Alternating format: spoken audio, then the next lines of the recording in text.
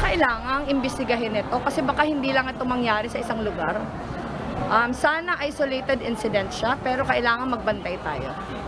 Nababahala si presidential candidate at Vice President Lenny Robredo kaugnay ng umano'y pre-shaded ballots na napabalita sa overseas voting sa Singapore at Dubai. Para sa pangalawang pangulo, dapat na itong maimbestigahan ng mga otoridad gaya ng Senado at iba pang investigative body. Ako, cause for, cause for concern siya, lalo na kasi bago pa nag-start yung absentee voting sa, sa, sa, sa para sa mga OFWs, marami na yung nag-warn sa atin na yung, yung pre-shaded ballots, um, meron talagang balak gawin. Pero giit ni Robredo, sakaling siyasatin nito ng Senado, dapat nang magkusa si Senator Amy Marcos na bumaba sa pwesto bilang chairperson ng Senate Committee on Electoral Reforms dahil kapatid siya ni presidential candidate Bongbong Marcos. Samantala, naniniwala naman si Robredo na si Marcos ang nasa likod ng fake news laban sa kanyang pamilya Ma'am, kalaban, hindi ina-applicant Oo naman. Oo naman. Kasi ginawa niya na yan sa akin since 2016. Consistently ginagawa yun sa akin since, since nag-pick up yung numbers ko nung 2016 elections. Nung hindi pa nag-pick up yung numbers ko, hindi naman ako pinapansin. Eh. Pero nung pick up yung numbers ko noong 2016, um, naging, naging nasa receiving end na ako ng lahat na kasinungalingan.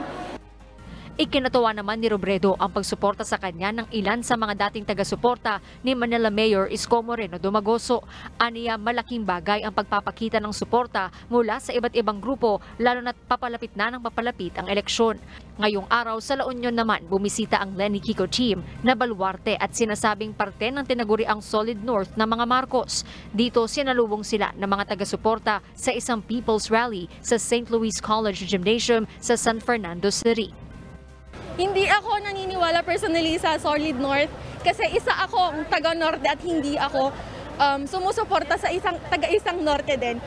Um, walang solid North kasi as you can see sa crowd kanina, ang daming tao and yeah, I guess ayun, yun lang yung proof na awanti solid North. Yun lang.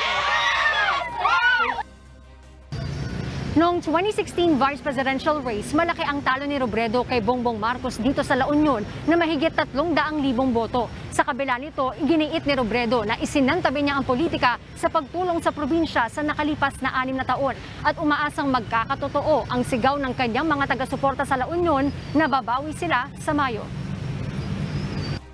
Bandang hapon sa Virac Catanduanes naman, tumungo ang Robredo ticket para sa isang campaign rally. Bukas sa Mindoro naman mangangampanya ang Robredo ticket ika-26 na araw bago ang eleksyon. Horlin Delgado, UNTV News and Rescue.